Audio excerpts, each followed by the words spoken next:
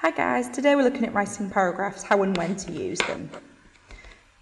So paragraphs are basically bite-sized chunks of writing and they help us to organise our ideas.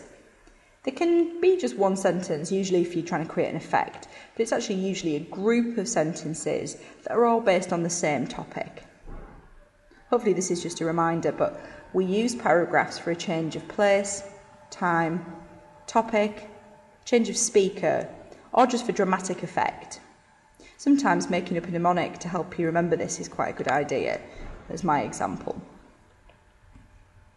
Now, just like that delicious, juicy Big Mac, uh, a good paragraph actually needs two main things to kind of hold it together. It's bread buns, in effect. You need your topic sentence, which contains your main idea, and you need your concluding sentence. What goes in the middle are your detail sentences and the tasty bit. Just a visual sort of reminder of that.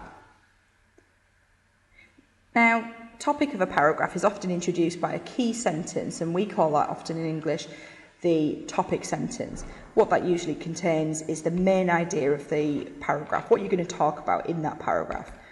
And that's followed up with some supporting or detail sentences. And they provide a few more details um, and sometimes just a bit of general information about the topic sentence. Then you've got your concluding sentence, and this kind of closes the paragraph. Um, it might repeat the topic in a different way, or it might express a personal viewpoint. Okay, putting it all together then topic sentence, supporting sentences, concluding sentences.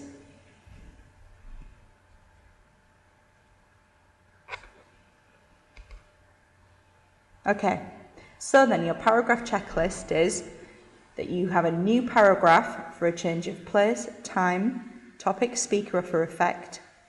Paragraph should always have a topic sentence, detail, and a concluding sentence. You should always make it clear that you've started a new paragraph by starting it on a new line.